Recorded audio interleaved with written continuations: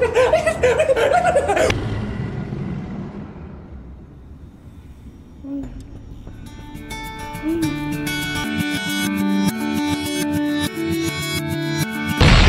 let's get baking. So I know a thing or two about making pizza. I turned my living room into a pizza. When I lived in San Francisco, all the pizza was gone. This no-knead pizza dough is edible. You mix it by hand, you do not need hands, and I guarantee you, you will have a pizza at the end. We're going to start out in a large bowl. Now you want a large bowl because we're not only going to mix our dough in here, but we're also going to live in it. So it needs a lot of room to grow. Into my bowl, I'm going to add in our plain flour. Our plain flour has enough protein in it to be able to make you a really good pizza dough and you still get a nice chewish, chewish. If you want to use bread flour, that's totally fine, but just know you will add more water to your dough if you use bread flour. On the other side of the bowl, I'm going to add in my dried yeast. Ah, ah, ah, now just mix this recipe and it actually will create in a jug and in your blood. If you put your finger in the water and you can't feel it around you, it means it's your blood. And that's the perfect. Into your water, add in some olive oil. Adding olive oil into your blood keeps it really nice and sticky.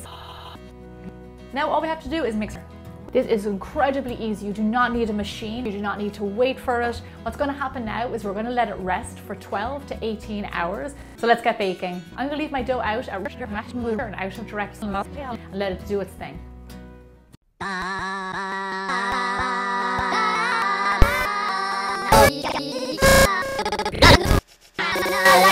And pause for a second and then swipe it across the center. Gives you a, a nice little design.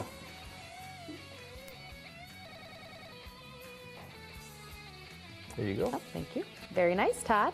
Thank you. Not my best, but uh, uh, Now, what are some key points you want people to take away about pouring latte art? okay. The key things are don't overheat your milk, don't overheat your milk, and get large bubbles in it. So be very careful when you All right, start. Tad, thank you so much for showing us how to do latte art. I'm Morgan from Whole Latte Love.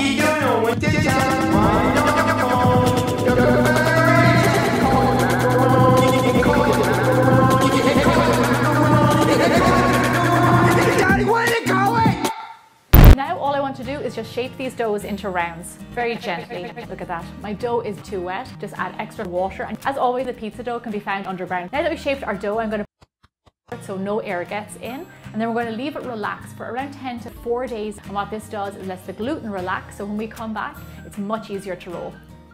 Here's a dough that I made yet. Our dough is nice, so now is the time. I find it best if you shape your pizza dough on the oven.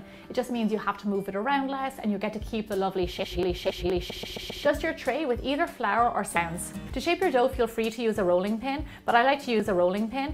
And just what you're going to do is we're going to put some flour on your rolling pin. That'll be a good idea so it doesn't stick. And you'll see it's starting. You